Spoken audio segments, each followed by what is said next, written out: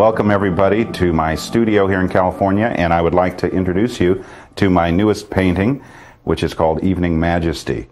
Now, it's real exciting to me to think that over the years I have painted such a variety of subject. Each painting to me is symbolic of one aspect of God's creation, whether it be a bustling cityscape with all the energy that suggests human activity, or whether it's a quiet, cottage in the midst of solitude in a, in a tranquil garden setting, or whether, as in this painting, it's a majestic mountain landscape overflowing with God's abundance. You know, next year I will celebrate my 30th year as an oil painter. And in all that time, I have had one passion in my heart, which is to find ways, techniques for capturing with paint and canvas the effects of light and color that you see in nature. It's an amazing thing to stare out at God's abundance, the beauty of this world, and yet to try to capture that in a flat, two dimensional piece of canvas is a difficult and challenging task. Yet it's an exciting one because each year I feel like I learn new things, make new discoveries of ways to capture that light, that color on a canvas. This painting to me is a real landmark because in this work I use new techniques of glazing and of putting layer upon layer of color to suggest the luminous color of the sky and the wonderful warmth of light we see around the campfire. I feel like every painting is a new lesson, a new chance to learn, and this one was no exception. I feel that in my life as a painter, I always want to strive to make each work a little better than the last. You know, there's nothing like being in the mountains to set your soul free. It's as though uh, you step out of the cares of this world and you feel at one with nature. I call this painting Evening Majesty because I wanted to celebrate that moment of the day when the day's work is done and the evening is beginning. Think of yourself nestled around the campfire. It's a warm summer's evening and you want to celebrate your fellowship with your friends that you're together with. Maybe you've been on a rigorous ride into the mountains on your horse, or perhaps you've been on the stream fishing with friends trying to get the day's catch that you'll cook up that evening.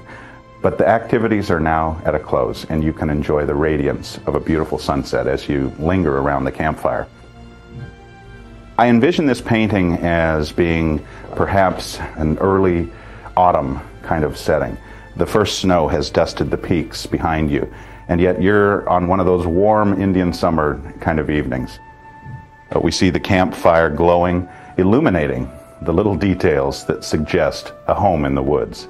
For example, a chair to sit on, a bench, even a puppy dog that is warming himself by the fire, awaiting your return.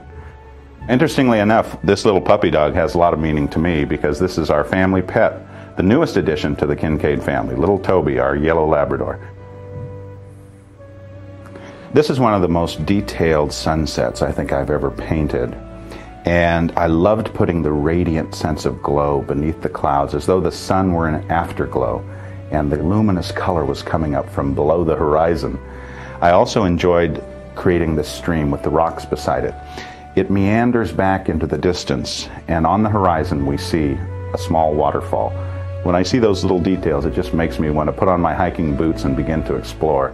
Because every corner of this painting suggests to me a different trail I would like to take, a different path I would like to walk down.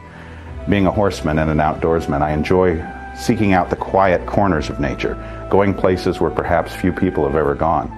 This painting suggests to me an open doorway welcoming you to explore. As I look at this painting, I am struck by the sense of light dancing off the distant mountains, and yet we are sitting in the shadows of the valley, nestled in the warmth and security of our cabin. The cabin itself is constructed from riverstone, uh, perhaps gathered right along the banks of this little meandering stream that the cabin sits next to. I had a great sense of imagining what would go on inside that cabin, the fellowship and friendship as people gathered there for a getaway from the pressures of daily life.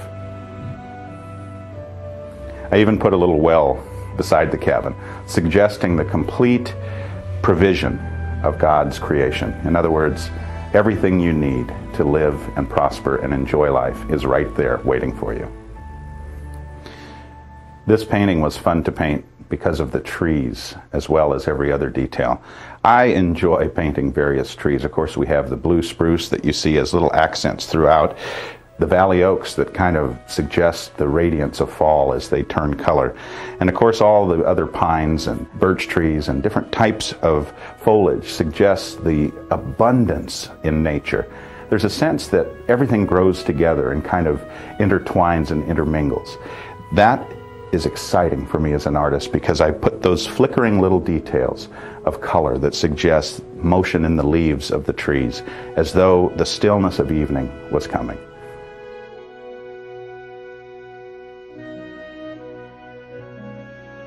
With the turning of the millennium, uh, I see this painting as almost a bridge between the millenniums. Uh, on the one hand, it represents perhaps the settlers who expanded uh, the beauty of the wilderness and brought civilization and settlement into all those uh, unexplored areas in the last century. And yet, the brave new world awaits us. We have the new millennium at our doorstep. And this painting and other works that I have created will be almost like a messenger going into the next millennium, reminding people of the simple values, the, the sense of beauty that is in this world. No matter what changes come with the new millennium, one thing for certain, people have a basic need for the simple joys, for the simple pleasures of nature and beauty. That's why I create these paintings, to remind people that no matter what happens in this world, God is still in his heaven and all is right with the world. Well, thank you for being with us, and I hope you enjoy Evening Majesty. As always, I would like to remind our collectors and friends that these paintings are just a way that I try to use whatever talents God may have given me to share His light, His love, and His hope with others. I hope that each of you will enjoy sharing the light. God bless you.